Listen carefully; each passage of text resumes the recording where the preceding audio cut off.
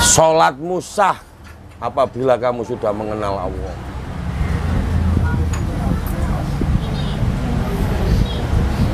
Sholatmu belum sah kalau kamu belum mengenal Allah. Kenal berarti jaminan surga. Neraka kiamat mau siraman kolbu.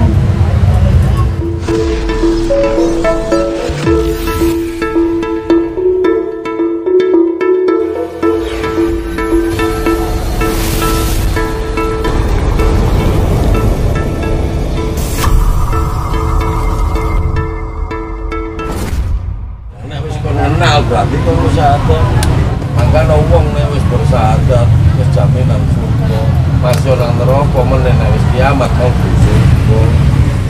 Ini siraman kolbu. Ya aku nyirami kolbu. Mangano gede terus. Aneh. Mangano aku kenapa?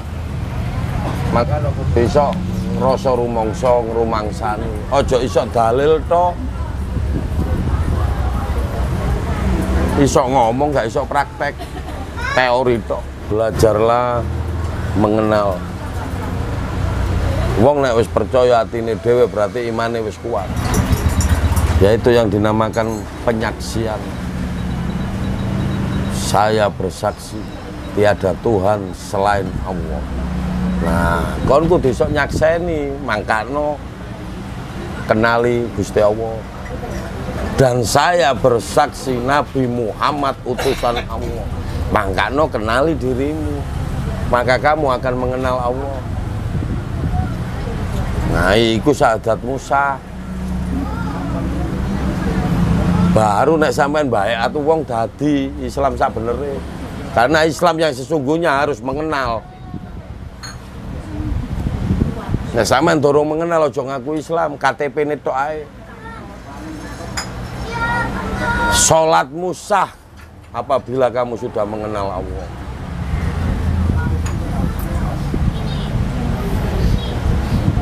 Sholatmu belum sah kalau kamu belum mengenal Allah.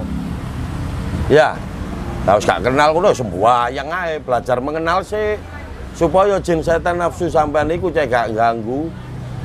Makanya wong nek wis kenal Gusti Allah jin setan gak wani ganggu karena uripmu wis dilindungi. Rohmu wis balik nang Gusti Allah. Karena roh itu suci, karena dia bukan dibuat tapi ditiup. Tapi nek jiwa dan hatimu isok rusuh. Makanya harus bisa tahu, jangan tembung jare. Yang dinamakan makrifat itu untuk menuju kesunyian, kekosongan, untuk menuju ke titik nol dan mencapai tingkat ketenangan jiwa dan hati. Sama harus mencapai ku tenang, hati yo tenang, terus gak mikir dunya, tapi yo dunya teko dhewe. Kretek hati dadi. Karena wis kenal lah, apa jaluk dunya gawe apa? Lho iya ta, lho balik kan nang kono. Lah nek sampeyan wis mengenal Gusti Allah gawe apa njaluk? Wis dikeki dhewe tanpa minta.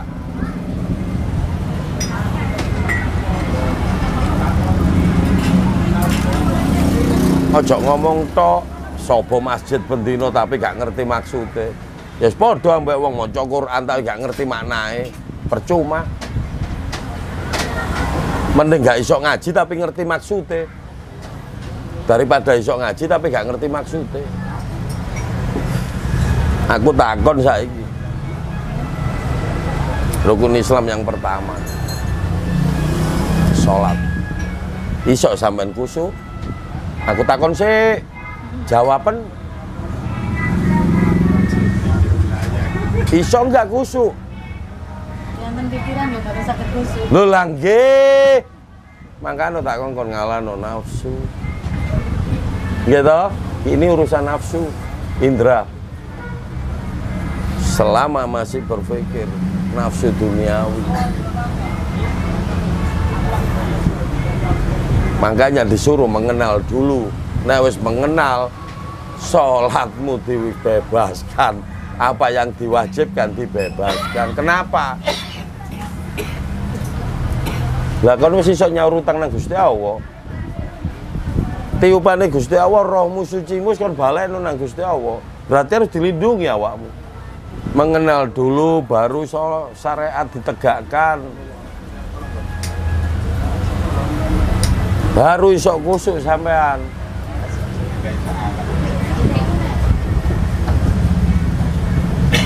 Makanya Kanjeng Nabi nang Gua Hiro itu tertidur, bukan tertidur, dia bertapa meditasi sampai menuju Isra ninggal no duniawi. Nah, baru menuju Mi'raj mengenal sir dan robnya. Dituruki Isra Mi'raj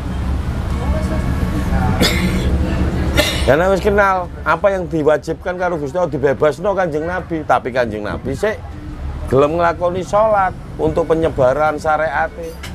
Pun paham? Ojo ojo nafsu to. Rezeki jodoh pati Gusti Allah sing ngatur, bukan kita, bukan orang lain. Aibmu jangan dibongkar ke orang lain. Kula mboten ten dukun Gus nang Pak Kiai. Pak Kiai gak ngekei syarat. Sama lek suwun nang dikei banyu-banyu. Loh ya, kalau jawab lo, sing jawab bojo sampean. Disukani ya, Ger. Loh lah ya iku syarat. Disukani ya, kurun. Eh, Mboten ngertos. Nang Al-Qur'an wis disebut no, orang yang percaya dukun syirik, musyrik dan dosanya nggak diampuni. Kiai yang benar. Karomah. Dan ulama yang benar karomah. Dan dia nggak mungkin menunjukkan keulamaannya. Karena yang bisa melihat dia ulama hanya hati dan rasa jiwamu. Nggak bisa dilihat dengan mata. Mangkano ya iku sing diarani kumpulono wong kang soleh yang dinamakan wong kang soleh itu duduk teko penampilannya kesolehan manusia bukan dari penampilan tapi hati dan jiwa Makanya nek sampean iso ndelok wong soleh sing sak benere iku kumpulono. Masuk senajan dek katokan pang penggawane macul, iku nek wis wong soleh kumpulono. Cara melihat supaya dia itu orang soleh ya pakai hati nurani, rasa, jiwa, hati. Ojo gawe moto. Bu, kebon banyu sampai kelelep ya, Man. 5000 kulake wonge. Saman tuku 100, 200 yo. Lah ngamplope ngono yo.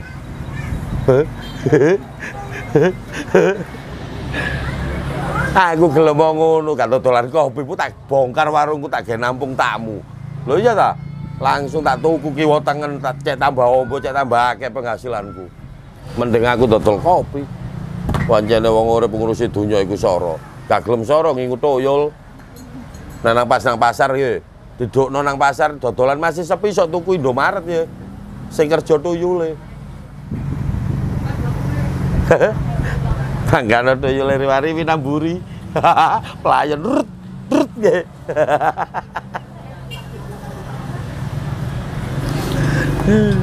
Bu, bu. Pasrah, yakin dijalani hidup ini dengan ikhlas. Sepi rame wis wayahe. Anggep ae ngono.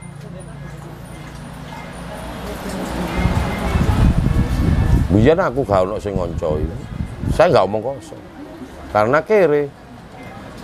Saya nggak omong kosong.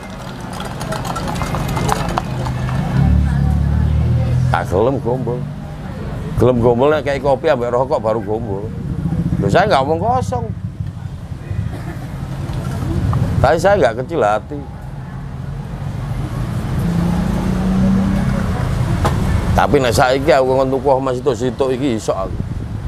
Karena orang menuju jati diri, mengenal diri, fitnah, mongso, akeh. Gak ono wong niat apik iku boloe akeh. Pun kunci. Gak ono wong jujur apik boloe akeh. Hah? Karena gak ngayakno ya toh. Dijak dijak elek gak gelem. Tapi nek kon elek, ah bolomu akeh. Tapi nek wis entek dhuwitmu ya ditinggal kon.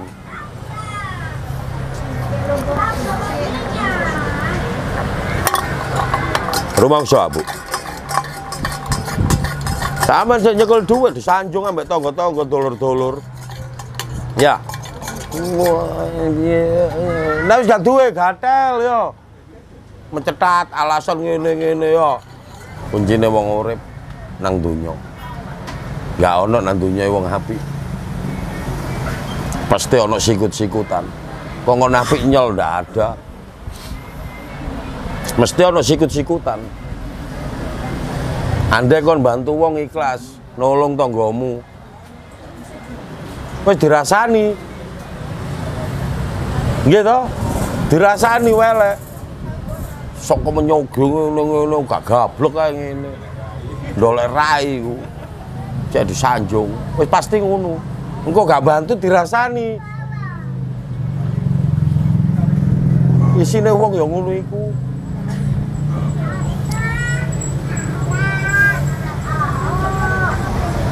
Mangan aku nek ambek kanca, kanca ae. Cukup kenal. Beda dengan sahabat. Samen loro sahabatmu melok loro, ngrasakno. Iku sahabat. Nek kanca, eh, sampean ana dhuwit tok dikoncoi.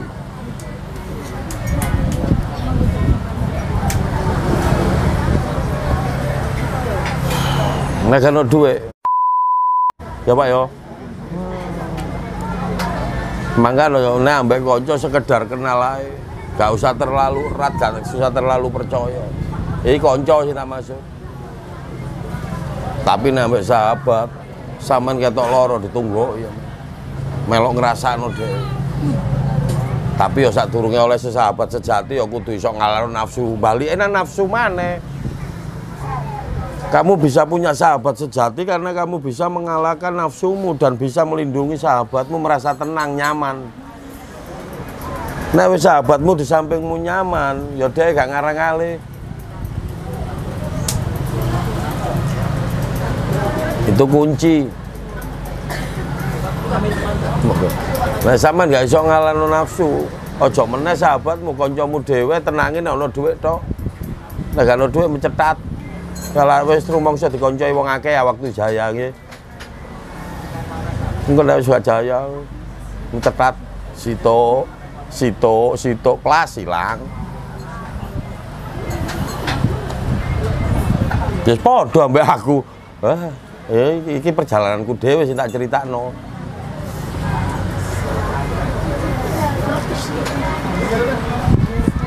Aku duwe rezeki tak bagi. Wah, mepet. Kalau rezeki tak bagi, mepet terus. Wah, bos, weh, Gus, bos. Yen. Barang jungkel. Lalri lo gak wani gak gelem ngoncoi. Saya nggak omong kosong.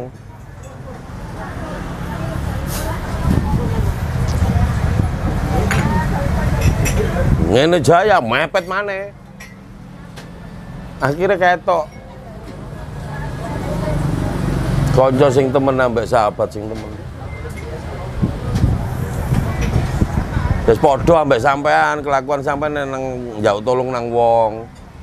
Gitu, nek selama dia masih bisa membantu mandi, wah sampean sanjung. Wah. Wak jos iku rek, ah biyen saya kita gak mandi belas pindah. Ah, iku. Ya iku jenenge wong gelem nek boto tok.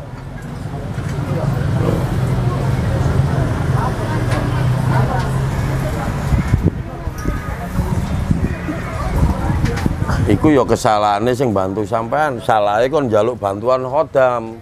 Saiki paling ditagih ambek khodamu. Khodamu saiki gak ndampingi. Tapi tuh nagih kon rencanae. Makanya nek diperintah gak ngerap budal. Nek biyen ketok jubahan, saiki ketok udengan. Ireng. Bu, Bu.